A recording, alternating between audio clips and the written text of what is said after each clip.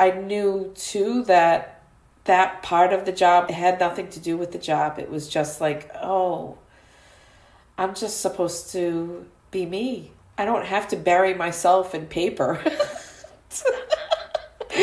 to be me, to have that little part that I associated love with. That can be in my everyday life without hurting myself.